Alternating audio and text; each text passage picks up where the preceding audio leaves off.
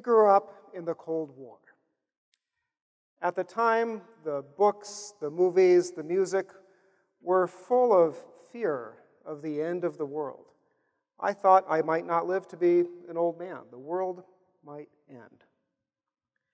One of my favorite albums was Pink Floyd's The Final Cut, a requiem for the post war dream.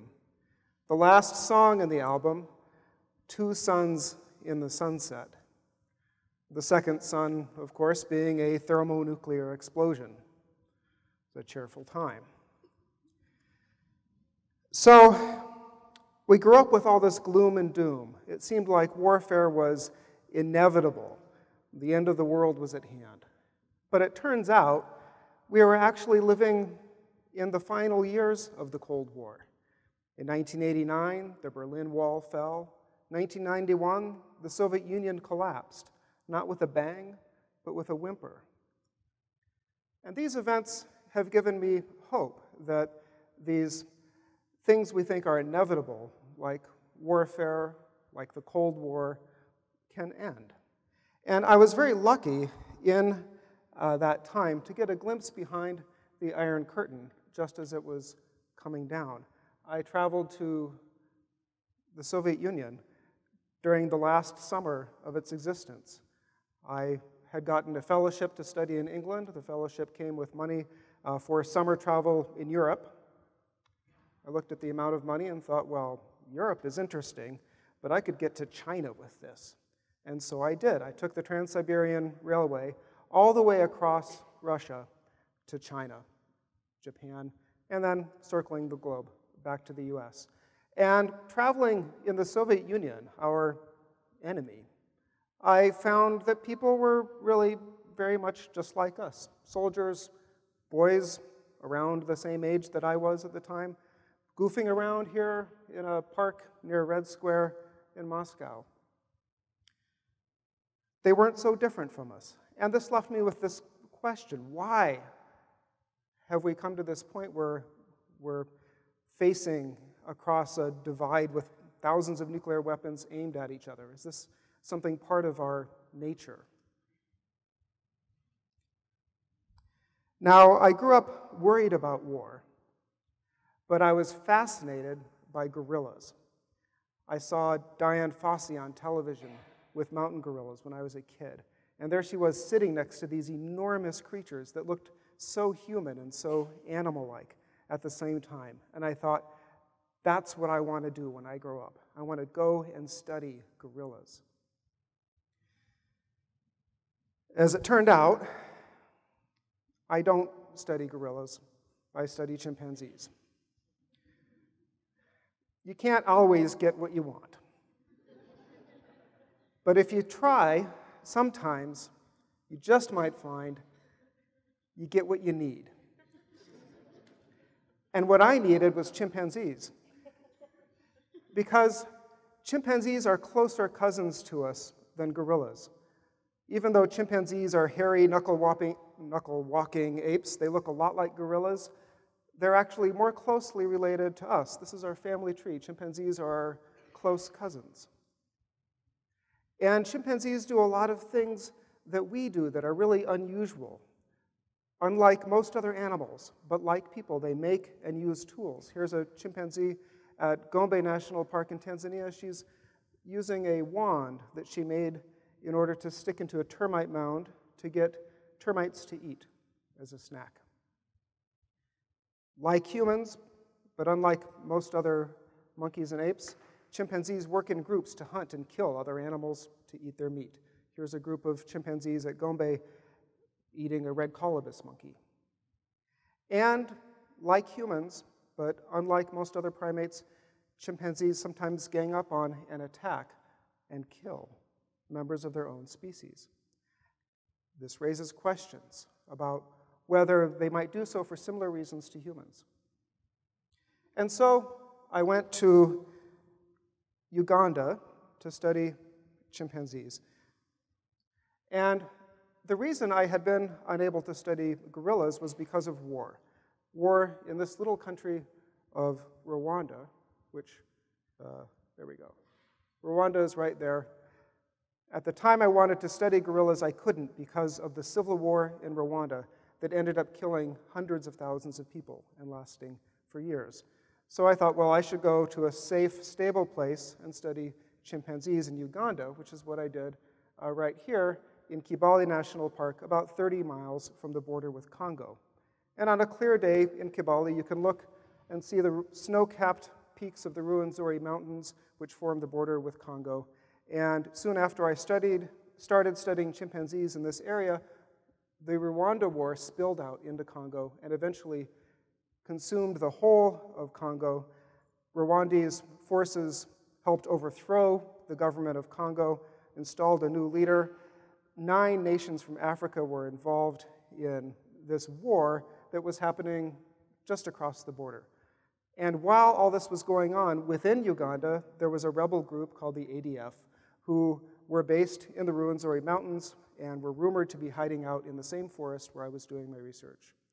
And the ADF, during this time, blew up buses and cafes across Uganda. They attacked a school near where I was working and uh, killed 80 students who they burned alive. And while all this was going on, bandits came in and robbed our field assistants in the village right where we lived and got into a firefight and ended up killing the brother of one of our employees. One of the very same field assistants who was robbed and beaten was also the one who came across our chimpanzees when they had just attacked and killed a chimpanzee from a neighboring community. This next slide is a bit graphic, so you may want to avert your gaze. Uh, but this is the chimpanzee that was killed. Uh, he was pinned to the ground by the chimpanzees that we were studying. And uh, they ripped out his throat, they bit him and beat him, and damaged him in all the sorts of ways that chimpanzees commonly do. So this raised all sorts of questions. Why do chimpanzees do this? Why do humans do this? One hypothesis, one attempt to explain this, is the imbalance of power hypothesis, which I'll explain with this kind of cartoon. So here we have a two territories inhabited by two groups, a blue group and a red group. And chimpanzees, like humans, live in a special kind of society that we call a fission fusion society, which means that instead of traveling together all the time, like a gorilla group, members of the, of the community sometimes travel in a big group, like today we're all assembled together, but later this afternoon we'll all fission into separate parties. Chimpanzees do this all the time. And so here in the blue community, we have 10 adult males, but there's not much food, so they have to travel separately looking for food. Uh, but in the red community, which also has 10 males, there's a bit more food, so there's a group of six males that can travel together, feeding together throughout the day. Because they have safety in numbers, they go to the edge of their range, where they find a blue male by himself, attack him, gang up on him, and kill him. Bad luck for blue. Now the blue group only has nine adult males. They can't defend their territory as well. They lose territory to the red group. And the red community now has more food as a result of this. That's the basic logic behind this imbalance of power hypothesis. So, some predictions from this hypothesis are that, first of all, if you're a chimpanzee, you should avoid visiting the edge of your range unless you're in a party with many males. And I've found this to be the case. Parties that visit the edge of their range have about twice as many males as parties that stay in the core. You should also, if you have more males, be more likely to enter a fight if an opportunity comes up, be more likely to win a fight, and more likely to kill. And as a result, winners should gain more territory. So I've been testing each of these predictions over the past 20 years or so. And one of the first things I did was to see how chimpanzees respond to strangers. Is it really the number of males that changes their reaction? And so I did a series of playback experiments in order to, uh, to do this. And my slide's gone away. But um, I did a series of playback experiments and in each of these playback experiments, I played a single pant hoot call from a foreign male chimpanzee. Now, a panthoot is a call that chimpanzees make that sounds a bit like this.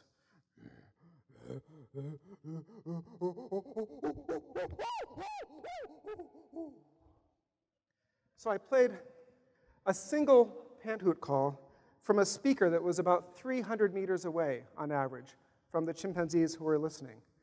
And after playing that call, we would quickly pack away the equipment so that the chimpanzees would never see it was a speaker and not a chimpanzee. And one of us would stay at that location to see what would happen. Often that was me. And meanwhile, there would be a team of people who uh, would follow the chimpanzees to see what they were doing.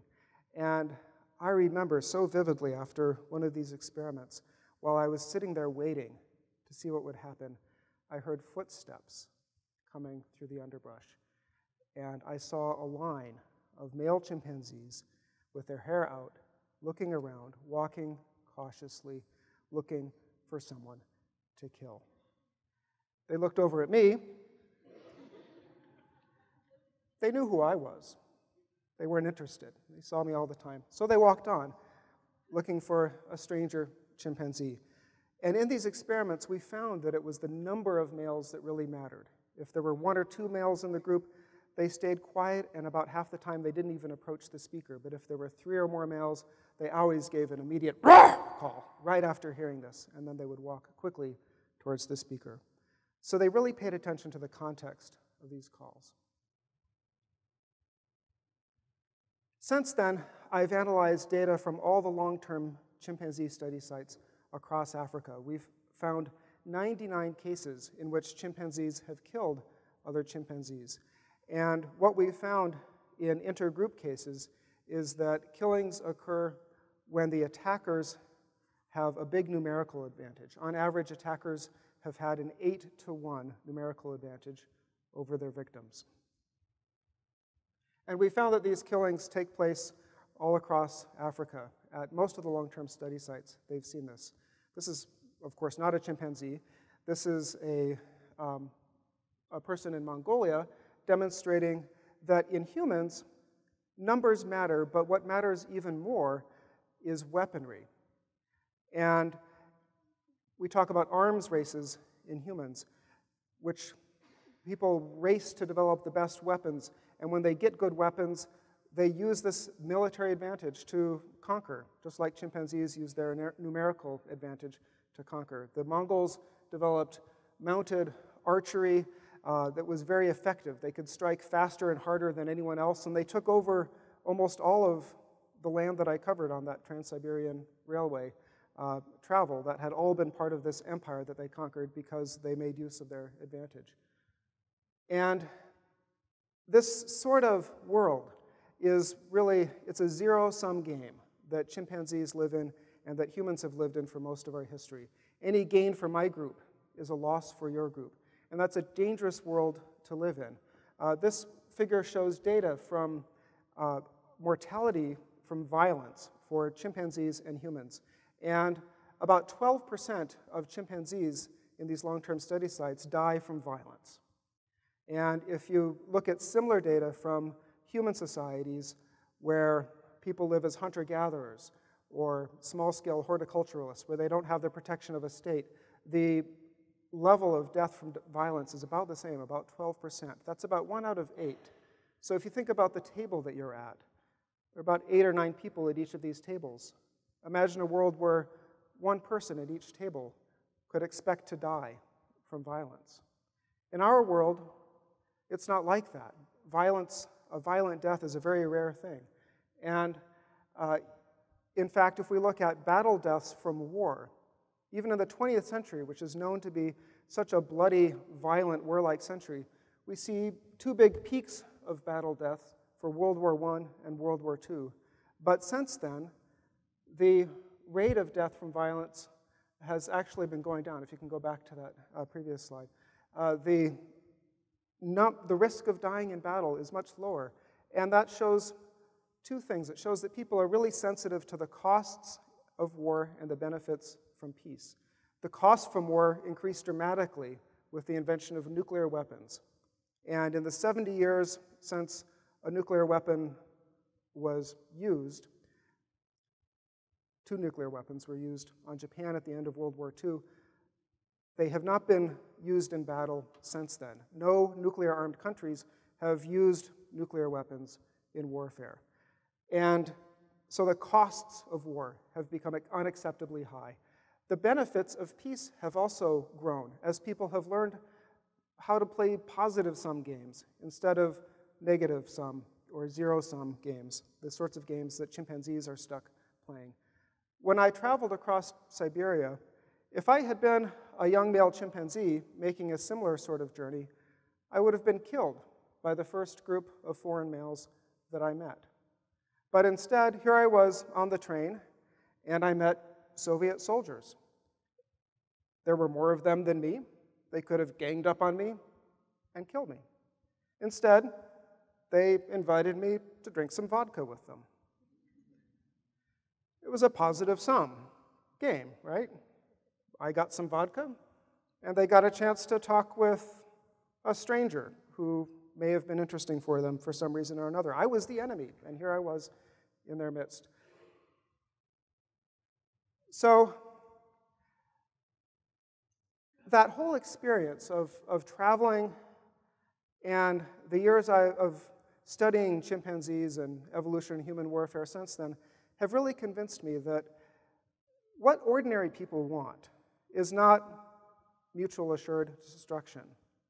Ordinary people want more or less the same sorts of things. The things they want to play positive sum games that lead to peace. They want the sorts of things that Pink Floyd sang about in their song, The Post War Dream. They want a place to stay, enough to eat, somewhere old heroes shuffle safely down the street. You can relax on both sides of the tracks, and maniacs don't blow holes in bandsmen by remote control. And everyone has recourse to the law, and no one kills the children anymore.